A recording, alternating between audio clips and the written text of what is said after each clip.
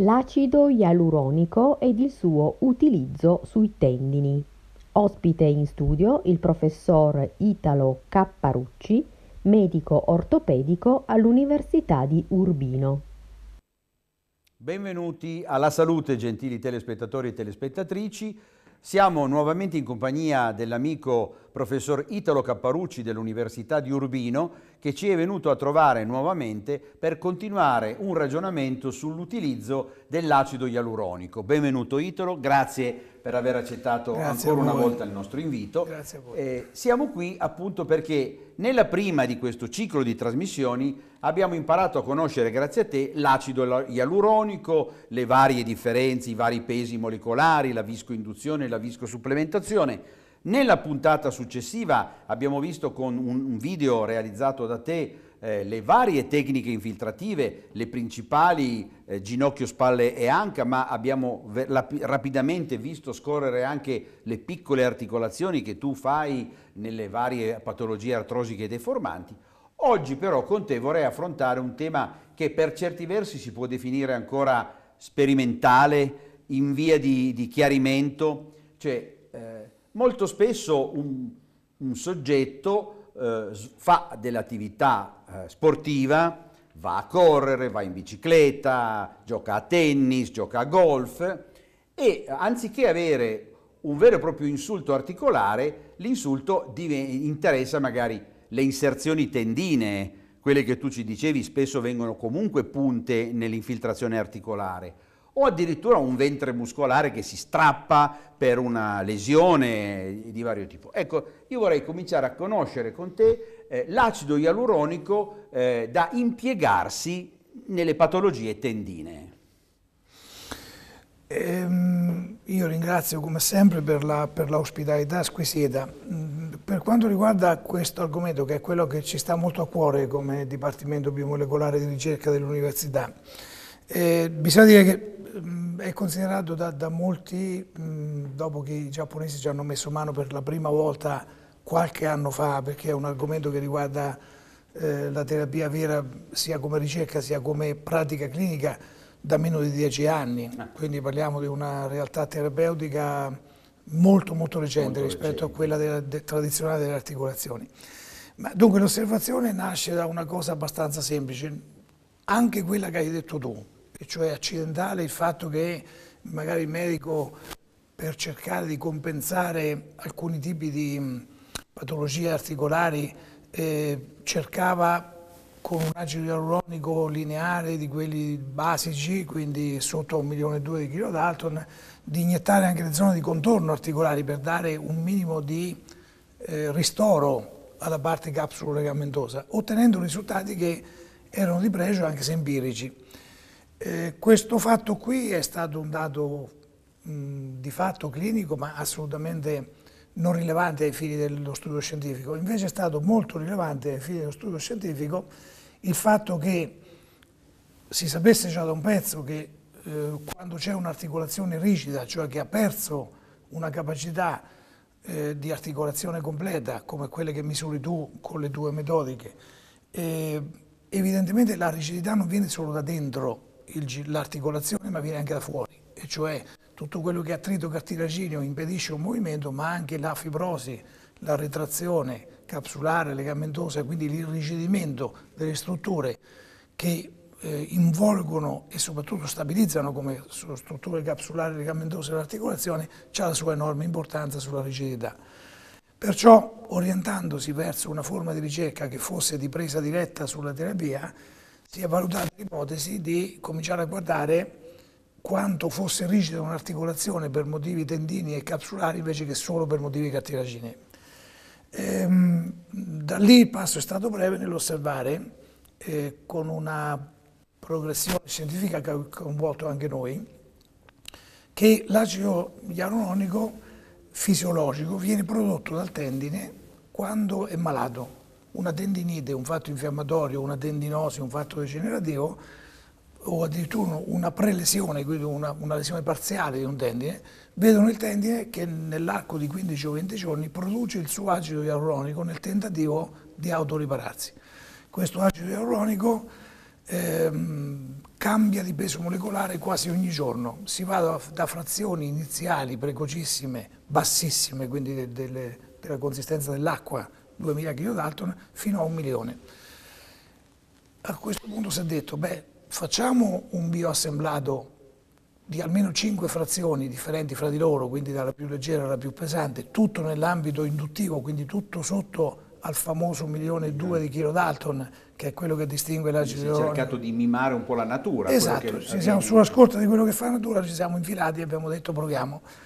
Questa è una metodica che non ha niente a che vedere con la, ehm, tutta la terapia di cui abbiamo parlato fino adesso, e cioè tutto quello che noi abbiamo chiamato biorivolumetria, perché qui non si parla di acido ialuronico cross-linkato, non ci sono leganti chimici, questo è semplicemente un insieme nella stessa siringa di 5 acidi ialuronici di peso molecolare diverso, simili a quelli di attendie, completamente indipendenti fra di loro. Una domanda, non ha qualcosa a che vedere con, l'acido ialuronico nell'estetica questo? Assolutamente sì.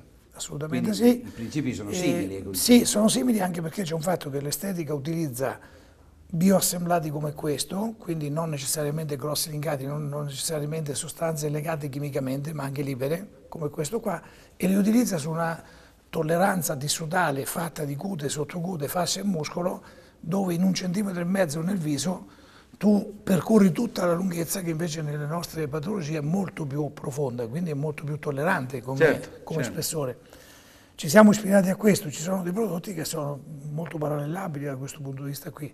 Si sono ottenuti sperimentalmente e adesso nella pratica clinica più, più allargata dei risultati di pregio per quanto riguarda sia la riparazione in senso stretto, sia soprattutto la rielasticizzazione, perché nel tendine non bisogna dimenticare che ehm, la capacità rielasticizzativa è strettamente connessa alla rivascolarizzazione se c'è una metodica certo. capace di produrre nuovi vasellini circolatori, stai facendo l'elasticizzazione. Che è un po' il principio della laser terapia ad alta densità che è un rivascolarizzante del microcircolo e quindi rimuove i cataboliti dei traumi. E, assolutamente, e, assolutamente. Eh, sì. Prima di vedere, abbiamo già visto rapidamente scorrere con la regia le immagini de, di alcune tecniche che tu hai, eh, ci proponi, che sono quelle corrette per l'infiltrazione dei tendini, io volevo con te però parlare, su, a proposito di tendini e muscoli, di quelli che sono principali, le principali alterazioni cellulari che tu vai a studiare, no? c'è una, una, bella tabellina che ci hai eh, portato e di conseguenza quindi questi famosi cinque pesi molecolari che voi state studiando come Dipartimento Miomolecolare a Urbino. Esatto. Eh, questa somministrazione di pesi molecolari differenziati fra di loro, ma nel, nel, sulla scorta di quello che si misura in un tendine malato che autoproduce un acido ialuronico nel tentativo riparativo, eh, è quello che ha ispirato la, la, la concezione e la confezione di questo mezzo terapeutico, che ripeto non c'ha nulla a che vedere con la biorivolumetria, non c'ha nulla a che vedere con eh, la, il, il cross-link fatto da, con varie sostanze, questo è un assemblato completamente libero, quindi molto simile fisiologicamente a quello che fa il tendine da solo. Eh, va da 2000 kg Dalton fino a un milione, quindi nelle quote piuttosto leggere dell'acido ialuronico, e eh, produce di fatto una bioinduzione, cioè ha un effetto provocatorio perché nelle tre fasi che noi conosciamo della lesione tenomuscolare eh, riesce a modulare i fattori di crescita o i fattori di controllo in maniera tale di rendere il più omogeneo possibile questa cicatrizzazione. Quindi c'è una fase, leggevo, primaria, una fase secondaria, secondaria. una primaria tardiva, una secondaria tardiva, e con riconoscimento di, di varie sostanze che vengono trovate nel tessuto. Ecco. Esatto, ecco. perché anche questo tipo di sperimentazione corrisponde, dà come parametri di riferimento eh, una chimica precisa, non è che si agisca eh, ecco, come viene. Cioè. Misurare le metalloproteasi tendinee, eh, come misurare le metalloproteasi cartilaginee per quanto riguarda l'altra terapia fatta sulle articolazioni, misurare le interleuchine specifiche insieme alle interleuchine specifiche per i cartilagi significa avere un'idea precisa di quello che sta succedendo. Perché eh, se io produco una cicatrizzazione anelastica, me ne accorgo dal fatto che le metalloproteasi tendinee o le interleuchine tendine non, non si muovono, rimangono patologiche come e questo sono. cambia molto anche Cambia dal punto moltissimo. di vista della cosiddetta riatletizzazione, della rielasticizzazione, cioè se tu non hai fatto questa modificazione rischi che volendo forzare le tecniche di allungamento lo rompi poi Sì, quel tendine sì. pensando di aver fatto... Assolutamente, perché ripeto, eh, quello che tu vedi con la risonanza magnetica, che è comunque un'immagine statica, quello che tu vedi con l'elastosonografia, che è un'immagine dinamica, ehm, diagnostica anche abbastanza operatore dipendente, quindi non per forza con un- una parametrazione del tutto affidabile. Vedi comunque un tessuto, ma la capacità elastica di quel tessuto eh, non sei in grado di misurarla, né tantomeno se poter dire se quella cicatrice si muove insieme a tutto il resto. Certo, certo. Le metalloproteasi che si abbassano, le interleuchine che scompaiono, stanno a significare che l'acido ialuronico ha avuto un effetto di ricostituzione fisiologica, quindi quel tendine assomiglia a un tendine sano. Esatto, anziché avere la classica cicatrice di tessuto connettivo anelastico, ecco. In tutta onestà va detto che la capacità riparativa nella giunzione muscolo-tendinea è di un tipo, quella nel corpo tendineo è di un altro e quella al passaggio fra tendine e osso, che sono le tre zone caratteristiche, è piuttosto differente anche quella. Si ottengono ottimi risultati in tutte e tre, ma la tecnica, eh, soprattutto la tempistica infiltrativa cambia di molto. Perché se in una lesione di carattere muscolo-tendineo, quindi in zona di passaggio fra muscolo e tendine, eh, ce l'hai obiettivata con precisione, devi iniettare molto precocemente e anche molto frequentemente. Nelle nostre sperimentazioni non siamo mai andati oltre le tre Ah, somministrazioni. C'è uno standard, un protocollo uno standard. standard. ecco. Il bioassemblato ha il grosso vantaggio di essere una sostanza molto eh, poco densa, quindi anche iniettata dal medico non esperto nelle vicinanze del tendine, c'è la capacità di perfondere, quindi di penetrare la guaina tendine e entrare dentro lo stesso. Noi consigliamo comunque, proprio perché le regioni sono diverse e quindi la diagnosi non è semplicissima anche Ecco, dal punto di vista strumentale. ecco. Ecco, un'iniezione ecco sul tendine, un'iniezione di questa natura qui a tempo zero, cioè appena fatta la diagnosi, poi dopo 15 e poi dopo 30 giorni. I risultati che abbiamo osservato sono a 90-120 giorni e sono molto Qui le suggestivi. teste metatarsali, infine. Questa- ecco, queste sono le teste metatarsali Sì, sì. Quelle ombre bianche che vedete in cima ai coni neri sono le zone, ecco, quella è la zona che è stata trattata e che, sono- che è tornata omogenea, questo è il controllo. Sì, sì, sì, sì. Ecco, anche qui eh, tu ti avvali, eh, oltre che dello studio delle metalloproteasi, di queste modificazioni, di queste sostanze infiammatorie che trovi, eh, sempre una tecnica anche di visualizzazione ecografica, no? Assolutamente. Per- non tanto per il punto da iniettare, ma No, per il controllo della terapia. Assolutamente sì, assolutamente quello è molto importante. Ehm, Quando tu parli di ricondizionamento tendineo, che cosa intendi? Ecco, ricondizionamento tendineo significa che noi tramite questo assemblato, questa bioinduzione fatta a più frammenti di acido ialuronico libero, eh, abbiamo potuto verificare che somministrato con la regolarità eh, che abbiamo detto prima, l'acido ialuronico è in grado di eh, modulare l'azione dei fattori di controllo della cicatrizzazione e della rielasticizzazione, e cioè in altre parole di dare una cicatrice che sia la più fisiologica, la più ehm, biologica possibile, ma soprattutto la più omogenea possibile, come potete vedere anche da, da alcune immagini che vedremo. Ah, questo è il gomito, eh, il famoso gomito del tennista. ecco. Mm. Esatto, Eh, dolore tendineo fastidiosissimo, no? Eh, extraarticolare, è una patologia dell'interfaccia fra il tendine degli epicondiloidei e il condilo umerale esterno dove si inserisce, che normalmente risente eh, del bioassemblato anche per una somministrazione unica. eh. Ah, soprattutto è una delle patologie molto fastidiose, Molto che- fastidiose, anche, anche molto frequenti, anche molto frequenti. Ah, anche il bicipite del de tendineo. Anche il tendine del bicipite, che è un'altra di quelle patologie molto frequenti Bicipite brachiale, chiaramente. Bicipite brachiali, sì, sì. Ha sempre tu, sempre il puntino rosso per far vedere.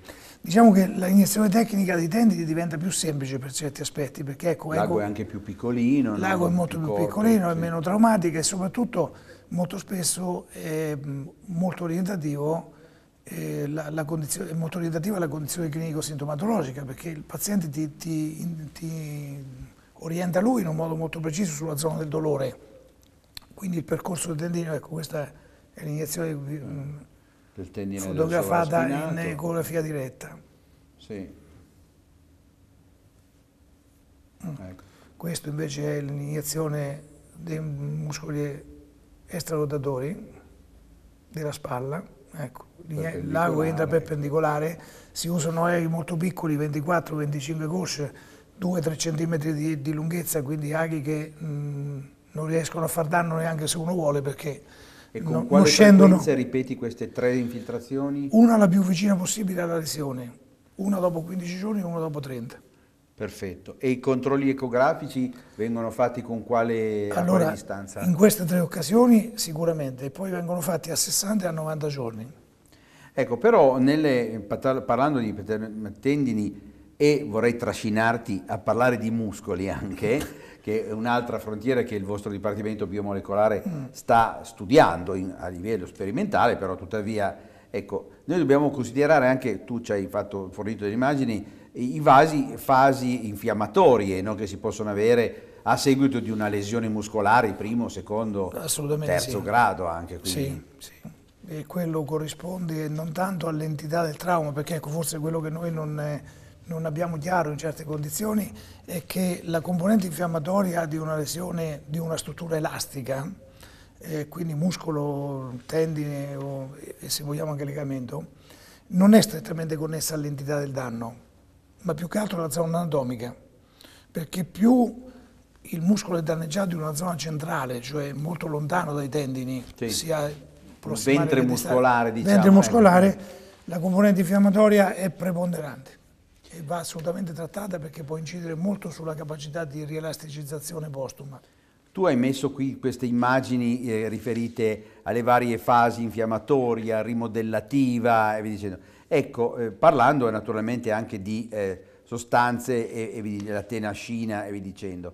Ecco, ma eh, i controlli sull'efficacia, eventualmente anche su una, eh, quello che una volta si chiamava lo strappo muscolare, o per meglio dire una distrazione di secondo grado, quella che normalmente un mesetto te lo porta via di, eh, di, di pausa dall'attività. Ecco, la tua esperienza ci dice che grazie a questo tipo di intervento terapeutico eh, non solo eh, migliora la qualità della riparazione, no? con quello che ci hai spiegato sulla qualità della elasticità tendinea, ma i tempi si accorciano?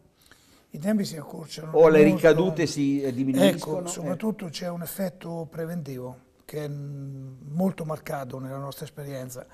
Eh, l'ultimo lavoro che ha prodotto questo Dipartimento, che è di prossimissima pubblicazione eh, in una rivista internazionale censita in un modo importante, eh, dimostra proprio questo per quanto mi riguarda. E quello che ci ha ispirato in un modo preciso lo racconto perché è molto interessante dal punto di vista anche della, della pratica clinica di ogni giorno. Dunque, noi sappiamo che in Italia, che non è sicuramente una nazione enorme dimensionalmente, quindi figuriamoci in altre, circa 50.000 persone l'anno si rompono il legamento crociato anteriore. Ecco. E quindi è una bella cittadina, eh, tutta quanta con il crociato rotto. E tutto quello che sappiamo fare noi ortopedici è prendere un tendine e metterlo dentro al ginocchio al posto di un legamento. Adesso noi sappiamo che eh, tendini e legamenti sono abbastanza parenti biologicamente fra di loro, ma non propriamente sovrapponibili.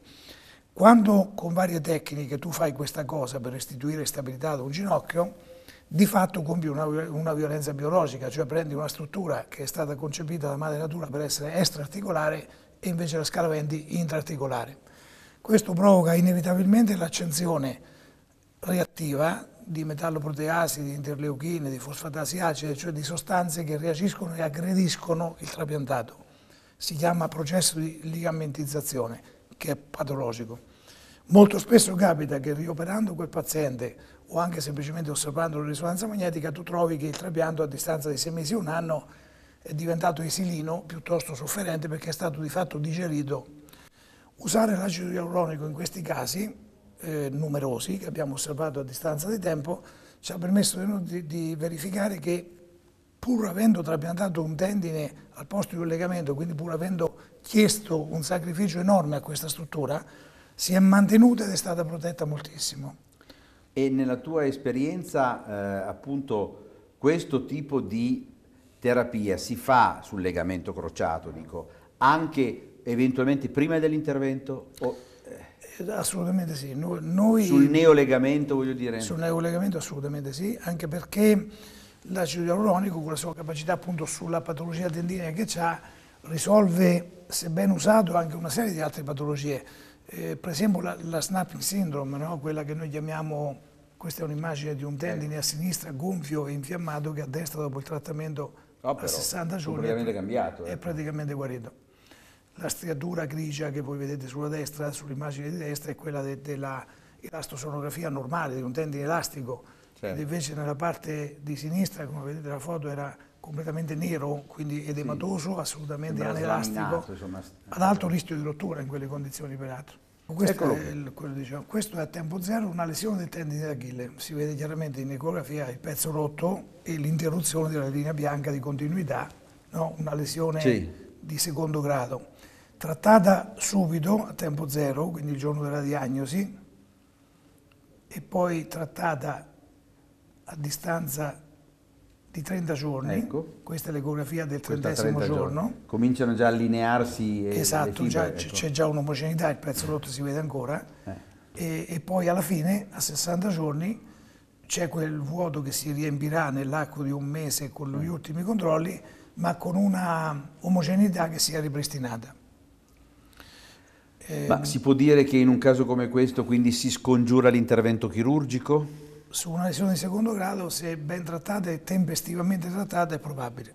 Nella tua esperienza, l'uso dell'acido ialuronico eh, e di tecniche eh, fisioterapiche, eh, quanto si possono aiutare? Cioè, ha un razionale Tecar, laser, onde d'urto e acido ialuronico? Assolutamente, perché mh, soprattutto con lo studio della, della tiacina e dell'elastina si è visto che il tendine che si mobilizza si smemorizza, ah. ha difficoltà a riprendere la capacità elastica proprio perché la sua biologia cambia.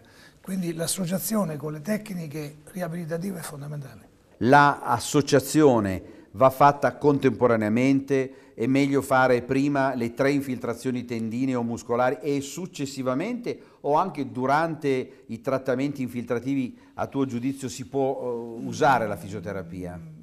Nei nostri protocolli abbiamo verificato che in linea di massima il risultato migliore si ottiene se la fisioterapia è molto precoce, cioè se ah. subentra fra la seconda e la terza iniezione, quindi fra il quindicesimo e il trentesimo giorno del trattamento dal tempo zero. In altre parole, dopo 15 giorni che si è fatto male. Ecco, con te abbiamo cominciato a, ad approfondire un, un tema di, eh, di, grande importanza che è l'acido ialuronico, no?